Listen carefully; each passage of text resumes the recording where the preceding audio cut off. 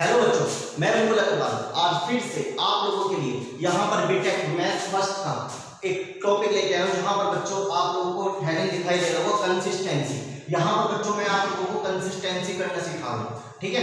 तो जहाँ पर बच्चों को बहुत इंपॉर्टेंट टॉपिक है ये बच्चों के लिए, और बच्चों को यहाँ पर समझने में दिक्कत आती है कि कंसिस्टेंसी करते कैसे हैं, कैसे उसके सॉल्यूशंस फाइंड करते हैं।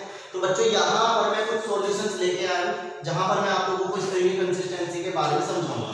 तो बच्चों, देखो, आपके पास तीन तरीके के सॉल्यूशंस होते हैं। आपने टेंथ क्लास में पढ़े होंगे, तीन तरीके के सॉल्यूशंस होते हैं।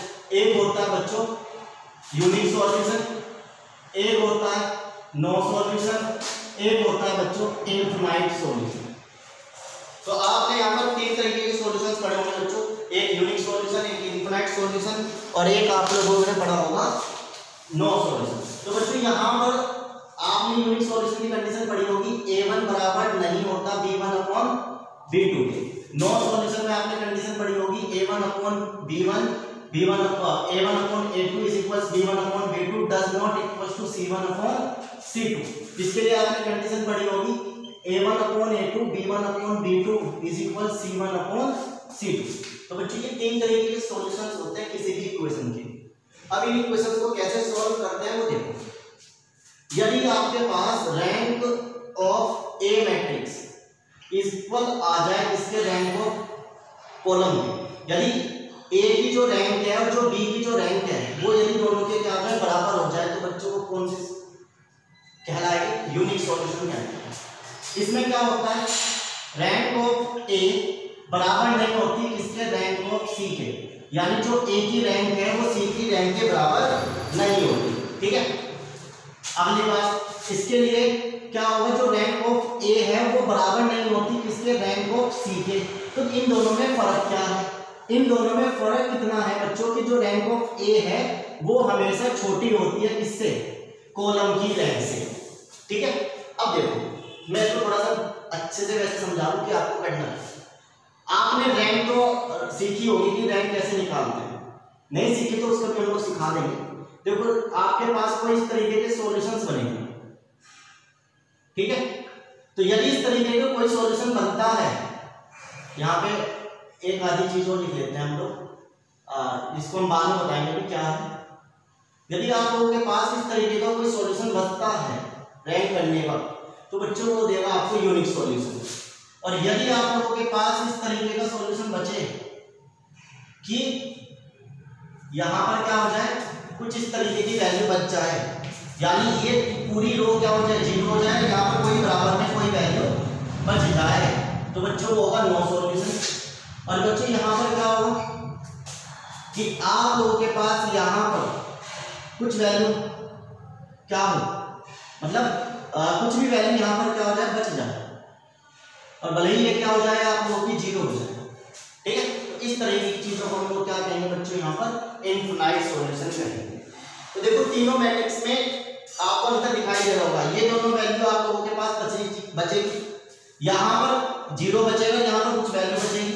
यहाँ पर एक्स बचेगा, यहाँ पर ज़ीरो बचेगी। तो यदि एक्स और ज़ीरो बच रहे हैं इधर की ओर तो वो है इनफिनाइट सॉल्यूशन यदि इधर पूरी की पूरी ज़ीरो बच रही है, वो नो सोल्यूशन और यदि इधर दोनों चीज़ जगह बच रही है तो वो है बच्चों यूनिक सोल्यूशन तो अभी मुझे पता है, नहीं समझ में आया तो इसके लिए आप लोग क्या करेंगे? न्यूमेरिकल देखेंगे। तो देखो मैंने न्यूमेरिकल लिखा हुआ है। तो न्यूमेरिकल में कैसे समझेंगे? आपके पास तीन इक्वेशंस दे रखी है, वो कह रहा है कि इन तीनों इक्वेशंस को आपको क्या करना है? सॉल्व करना है। तो देखो, सबसे पहले आप एक आर्ग्यूमेंट की फॉर्म में लिखते हैं। आर्ग्यूमेंट की फॉर्म में लिखते हैं, क्या? सी मैट्रिक्स बराबर होगी किसके? ए और बी आपने ट्वेल्थ क्लास में कुछ इस तरीके से पढ़ा होगा। ए इनवर्स बी पढ़ा तो इसी चीज़ को हम लोग इस तरीके से लिख रहे हैं कि जो सी मैट्रिक्स है, वो ए आर्ग्यूमेंट बी के बराबर तो जो ए मैट्रिक्स है, वो आप इससे लिखेंगे। इसके साथ वन है, इसके साथ माइनस वन है, इसके साथ टू अब आप आर्ग्यूमेंट लिखेंगे बराबर में थ्री अब बच्चों, आपके पास दूसरी इक्वेशन में वन दे रखा है एक्स की जगह पर। टू वाई के साथ टू है जेड के साथ थ्री है इसका आर्गुमेंट बराबर किसके है पाँच के एक्स के साथ यहाँ पर थ्री है, यहाँ पर फोर है, यहाँ पर माइनस के फाइव है और यहाँ पर माइनस के थर्ड तो इस तरीके से सबसे पहले आप लोगों को इस मैट्रिक्स को इसमें चेंज करना करिए। अब आपको ज़ीरो बनानी है। ज़ीरो बनानी है इस अपर ट्राइंगल को। मोस्टली इस अपर ट्राइंगल को आपको क्या बनाना है? ज़ीरो बनाना या कोशिश करें कि ये वाली रो पूरी की पूरी क्या हो जाए? ज़ीरो हो जाए। उसी चीज़ से हम लोग क्या निकालेंगे? उसकी रैंक भी निकालेंगे। उसी चीज़ से आप लोग कंसिस्टेंसी भी निकालेंगे। तो चलिए देखते हैं कैसे निकालेंगे सबसे पहले ऑपरेशन लगाते हैं कि इसमें से वाली चीज़ क्या हो जाए? माइनस कर दें। वन में से वन गया तो ज़ीरो बच जाएगा तो सही बात है। यानी आठ में से वन माइनस करो। तो पहली रो में हमने कोई छेड़छाड़ नहीं करी, वो ऐसी की, ऐसी रखी। तो वन में से वन गया तो बच्चों ज़ीरो बचेगा। टू माइनस पहले से माइनस यानी ऐसे। टू माइनस और आर वन माइनस वन तो माइनस माइनस प्लस यानी थ्री। फिर आप लिखेंगे थ्री माइनस आर वन की वैल्यू बच्चों टू तो यानी बच जाएगा one. R one five minus three तो बच्चों बच गया टू अब आपको क्या करना है? इसमें से ये माइनस करना है तो कैसे करेंगे? आपने आर थ्री में ऑपरेशन लगाना है क्या? इसमें से माइनस करूँगा तो कितना बचेगा? टू बचेगा। परंतु मुझे कितना चाहिए? ज़ीरो। तो यदि मैं यहाँ पे तीन से क्या कर? मल्टीप्लाई कर। दूँ यदि मैं वहाँ पे तीन से क्या कर? मल्टीप्लाई तो बच्चों कितना हो जाएगा? तीन में से तीन गया। ज़ीरो। इसके लिए माइनस के चार माइनस थ्री आर वन कितना है? माइनस के वन तो कितना बचेगा? माइनस के चार माइनस माइनस प्लस तो माइनस वन ये बच गया। अब बच्चों आप इसके लिए करेंगे। माइनस के फाइव माइनस के थ्री आर वन कितना है टू तो कितना हो गया माइनस के फाइव माइनस के सिक्स कितना बच गया? माइनस इलेवन बच गया। क्लियर अब इसके लिए सोल्व करेंगे तो कैसे करेंगे? माइनस के थर्टीन थ्री इंटू थ्री कितना हो गया? माइनस के थर्टीन और ये कितना हो गया आपके पास? नाइन तो थर्टीन और नाइन बच्चों कितने हो जाते हैं आप लोगों के पास? थर्टीन और नाइन कितने हो जाएँगे? माइनस के ट्वेंटी टू क्लियर है इतनी बात?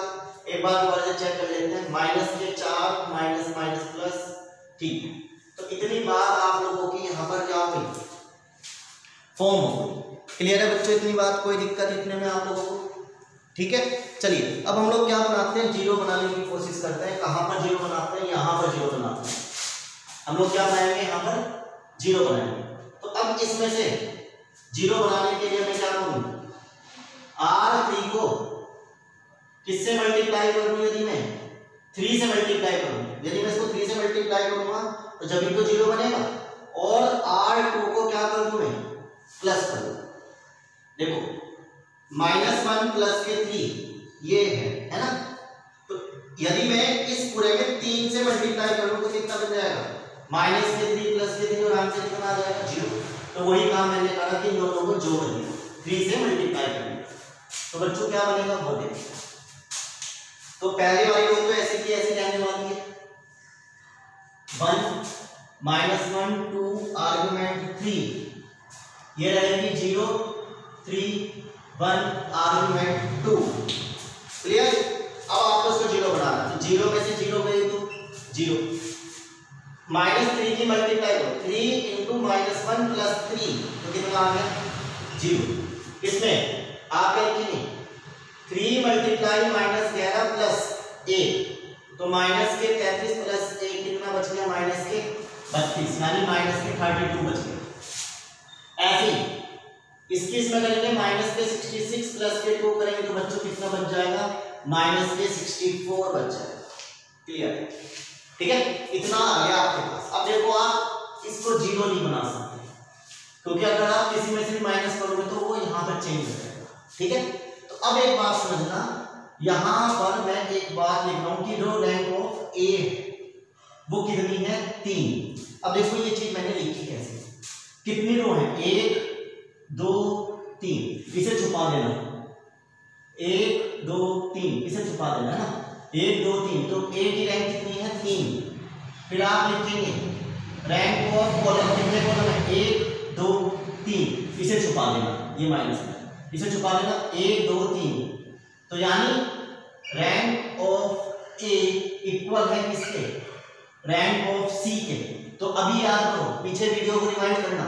आपको भी मैंने केस पढ़ाया था कि जब बराबर बराबर कुछ ना कुछ लिखा होगा तो वो किस तरीके का सॉल्यूशन देगा आप लोगों को? यूनिक सॉल्यूशन देगा। और जब वो यूनिक सॉल्यूशन देगा तो बच्चों को चीज़ कहलाती है कंसिस्टेंसी या कंसिस्टेंट कहलाता है। वो क्या कहलाता है? कंसिस्टेंट कहलाता है। और जो बच्चों नॉन सॉल्यूशन होता है, वो इनकंसिस्टेंट होता है। इनफिनाइटली क्या होता है? कंसिस्टेंट होता है। तो दो चीज़ याद रखनी यूनिक सॉल्यूशन और इनफिनाइट सॉल्यूशन कंसिस्टेंट होता है। तो यूनिक सॉल्यूशन आप लोगों के पास क्या है? कंसिस्टेंट है। क्लियर तो यानी ये जो इक्वेशन बनी है तीनों की, तीनों ये आपको कैसा आंसर देगी? यूनिक सॉल्यूशन देगी। तो सबसे पहले क्वेश्चन आएगा कि टेस्ट करो। टेस्ट द कंसिस्टेंसी तो इस इक्वेशन का आप लोग क्या करेंगे? कंसिस्टेंसी चेक करेंगे। क्लियर इतनी बात? अब आपने क्या करना है? उसकी वैल्यू फाइंड करनी है तो उसकी वैल्यू फाइंड करने के लिए बच्चों देखो आप कैसे करेंगे। किसकी वैल्यू फाइंड करनी है यानी इन इक्वेशंस की वैल्यू फाइंड करनी है x, y, z तो आप x, y, z की वैल्यू को निकाल लीजिए, देखो क्या करेंगे। ये चीज़ उठा के यहाँ रखेंगे। रख? दी 1 1 2 0 3 1 0 0 32 रख दिया? यहाँ पर क्या लिख देंगे आप? x, y, z और बराबर बच्चों आप क्या लिखेंगे? 3 2 ये चीज़ आप लोगों ने यहाँ पर लिखी अब आप इनकी इक्वेशन बनाओ। तो देखो, इसकी इसमें multiply one X minus Y plus two Z बराबर इसके बच्चों three one X minus Y plus two Z बराबर थ्री इसकी इसमें करोगे zero X plus three Y plus one Z बराबर टू इसकी इसमें करोगे बच्चों zero X zero Y minus बत्तीस जेड बराबर माइनस सिक्सटी फोर। तो देखो तीन इक्वेशन बन गई अब तीन से एक्स वाई जेड निकालना। तो देखो ये तीन का तो कोई रोल नहीं रहा तो खत्म होगी, बची क्या? माइनस के thirty two Z minus sixty four. Thirty two से सिक्सटी फोर कटेगा बच्चों तो जेड की वैल्यू कितनी आ गई? टू आ गई। उठा के यहाँ रखेंगे। तो रखेंगे तो कैसे? ये तो पूरा ज़ीरो हो जाएगा इसका तो कोई रोल नहीं रहा। Three Y plus one into two three Y plus one into two और बराबर किसके? बराबर किसके बच्चों? दो के, है ना? तो थ्री वाई प्लस के टू बराबर दो प्लस में रह गया तो माइनस में तो दो में से दो गया ज़ीरो और थ्री से से डिवाइड कर दोगे तो बच्चों, ये भी कितना बच जाएगा आपके पास? ज़ीरो बच जाएगा। अब आपने एक्स वाई जेड की वैल्यू निकाल दी, अब आपको निकालनी है एक्स की। तो यहाँ पर X as it is Y की वैल्यू ज़ीरो रख देंगे।